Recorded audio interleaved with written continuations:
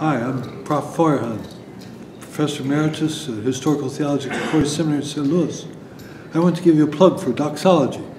It's a great venture, marvelous. Its planning, its scope, its purpose, and the way things come out very well. And also the, the way in which the worship is so key to the whole thing, marvelous worship.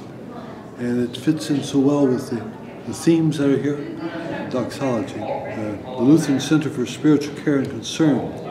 It's the way in which theology and psychology comes together.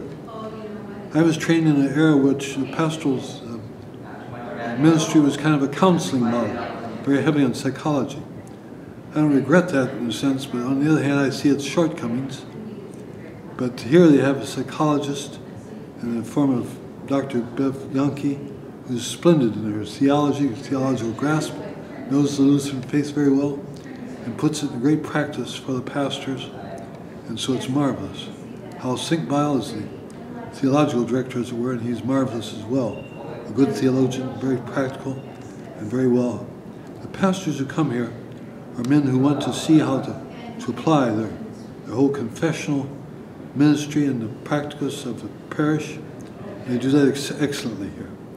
And so I would highly recommend you consider doxology for yourself and your elders and uh, take part if at all possible.